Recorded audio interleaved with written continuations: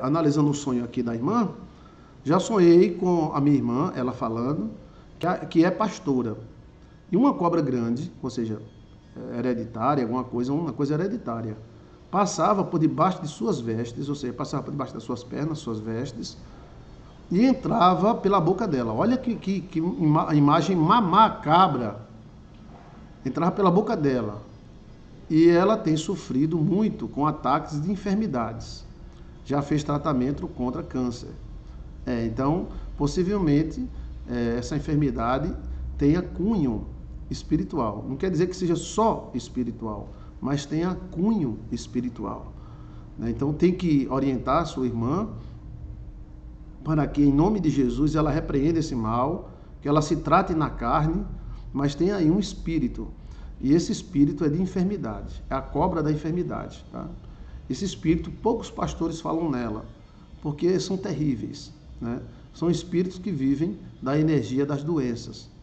Mas pode uma pastora, ou um crente, ou um católico, ou um cristão sofrer com esses ataques? Pode. Olha aí, o sonho dela mostrando.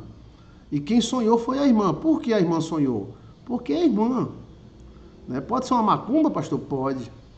Ou seja, a pastora pode estar imacumbada. Então, que Deus socorra a serva de Deus. Né? Então, possa ser também que, por ser pastora, ela mexeu com alguma coisa e alguma coisa está atacando ela, que entrou pela boca dela. Né? Então, esse sonho é muito macabro e mostra a existência de um espírito chamado espírito de enfermidades os pastores que eu convivi há muito tempo, só tinha um ou era dois que falavam nesse tipo de espírito. Esse tipo de espírito, eles vivem de doença. Quando eles atacam a família, eles precisam de alguém doente. Então eles adoecem alguém e às vezes a pessoa fica doente, os médicos dizem que não, não tem, mas ela fica, ou ele. E ali ele fica sobrevivendo daquele cara. E demora muito a morrer. Muito mesmo, né? Quando é esse caso assim, de espírito de enfermidade. E a pessoa fica deitada na cama, fica sofrendo, fica sofrendo, ele vive dessa energia. No caso aí da pastora, pode ser vários motivos. Pode ser um ataque espiritual, pode ser um demônio hereditário, pode ser uma macumba, né? Mas sabe-se que, que essa enfermidade que ela tem, que todas as pessoas podem ter, mas é, tem um cunho espiritual.